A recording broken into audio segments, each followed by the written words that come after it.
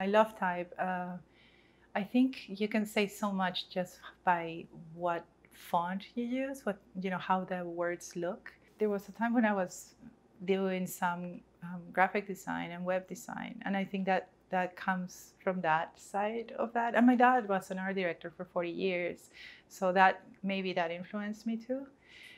So yeah, I, I think font is just so important. Not only the way you use the font, but how you put it, what, how you put it on the paper, how it appears, how how heavy the color is on the type, how thick, how you know that even the textures within those those uh, that font.